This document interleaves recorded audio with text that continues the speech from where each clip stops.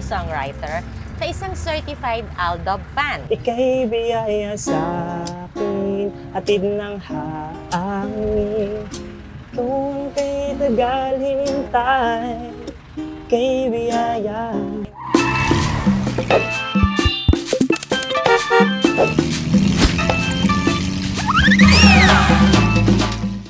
So, familiar ka sa pa- sa Sunken Garden, Yes po. sabi mo. So, naka- nakakapunta ka dati dito. Yes po.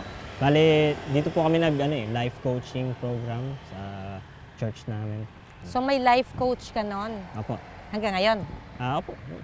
Ano ba yung life coach? Bale, parang ano po siya eh. Siya yung magpapa self-aware sa'yo. Ganun. So, titrain ka niya para maging self-aware as well as ah, environmentally aware. Ganyan. Sa, makip mo yung values na gusto mo sa buhay. Makita mo yung belief system na nagsusubscribe ka whether you believe it or not. Tapos makapili ka ng values na Ah, so, hindi yung um, parang hindi pilit Apo. coaching talaga. Ah, so, ano yung mga important na values ang Ang- tingin mo na impart niya sa'yo? Well, una sa lahat po yung honesty.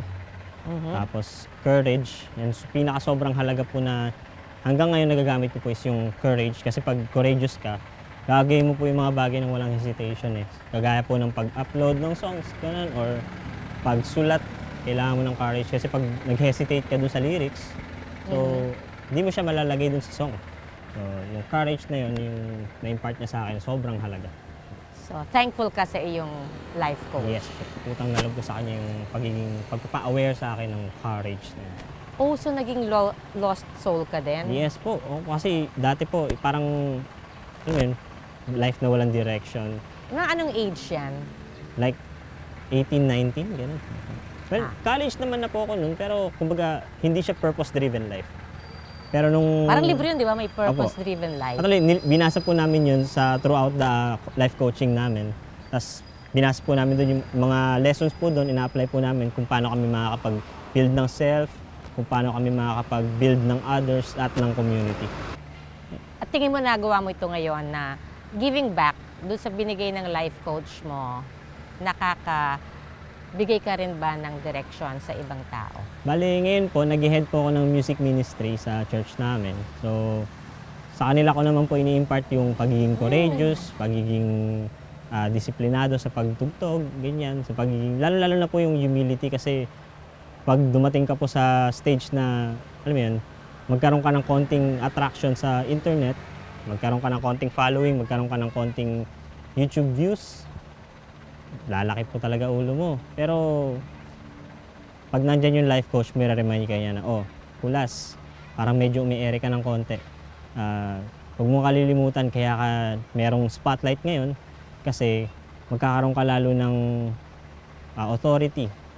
Magkakaroon ka lalo ng parang respeto sa'yo ng mga tao. Ano sasabihin mo sa mga tao, pakikinggan ka nila kasi meron kang ah, na-achieve na malaki. So, meron ka ngayong responsibility. Ano nga sabi ni Spider-Man? With great power comes great Meralco bill.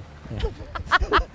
Kaya kailangan pong magtipid ng kuryente kasi with great power comes great responsibility. At pag sumikat, with great popularity po? comes, Comes great humility. Humility and responsibility. So, ang ganda nun. Na, So, alam mo, ang hirap maglakad dito sa Sanken. Parang, parang Sumisink ka din. sumisink ako at parang napapalava walk ako. Para tayo nasa bulkan. Parang nasa bulkan tayo. Kwento mo ako ng konti tungkol sa song mo na para kay Catriona. Bale, ito pong para kay Catriona, ay sinulat ko po para kay Pia Wurzbach. Gusto ko yon. Ang katabong para kay Catriona ay para kay Pia Wurzbach. Pareho naman silang Miss Ah. Universe. Eh, bali po, anong nangyari po nun? Nung nagbabiyahe po ako from Makati, pa uwi ako nun, tapos nakita ko sa TV sa bus, si Catriona. Tapos pinapaulit-ulit nila yung slow-mo twirl.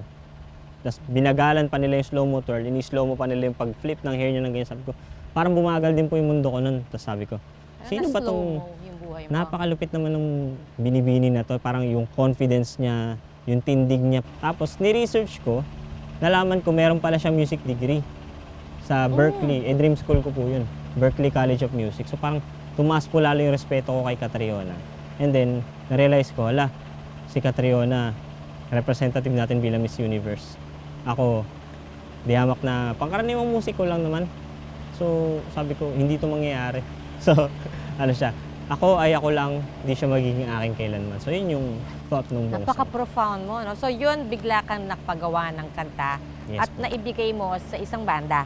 Yes po. Bale, ang nangyari po nito, sinali ko po to sa Philippine Popular Music Mm. Festival. Tapos, ah, sila po nag-assign na ang kakanta po nito ay yung bandang I Belong to the Zoo.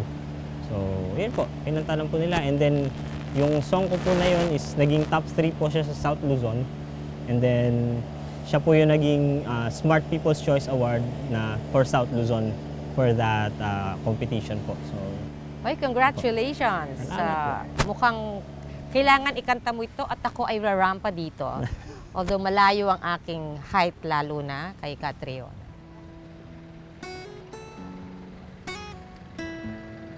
Kulas Barcelona.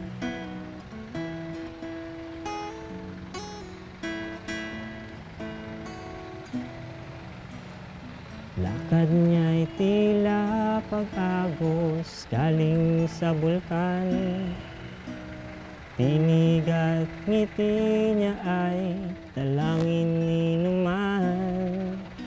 Sa dahan ng pag-ikot niya ay dahan-dahan kong naramdaman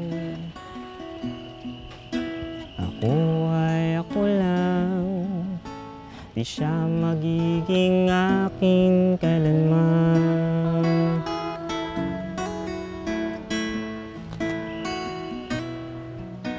Musilak ang pusong kay lapit sa maralita. Kita sa kanyang tindig, tinig sa salita. Telas ng silanganan at ang san sinukob ay siya ang hirang. Ako ay ako lang. Di siya magiging akin kailanman. Ako'y maghihintay sa pag-uwi mo at pagkaway. Parada ng ngiti mo't nakamit na tagumpay Habang watawat ay aking winawagayway Paulit-ulit sa isip ko ay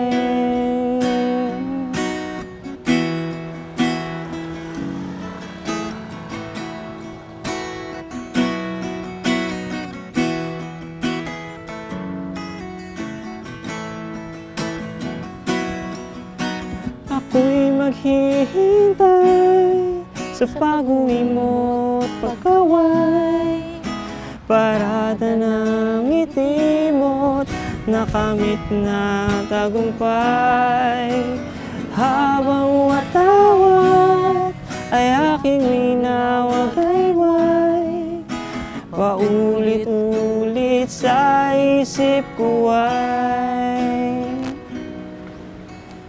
Pagtingi di babalik, ako'y nahihibang Guhit sa ulap ay naglalaho ang kinang Pinagpapasalamat at pinagpapasalangit ko na lang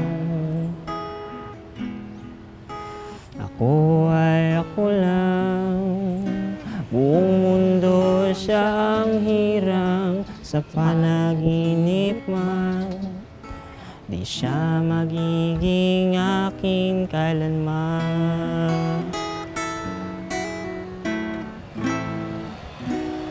Kailanman! Humabol. Hindi ko kaya. Ang taas. Pero ang taas ni Catriona. po Kasi ano siya eh Miss Universe siya eh Tapos ako Circulus ka naman. But yun, who knows? Manawagan tayo kay Catriona Gray ulit. Pansinin mo naman siya. Pero kaya lang baka magse- may magselos na, di ba? Magsiselos ang girlfriend, hindi na. So go na. Halika, punta tayo sa uli. Tara po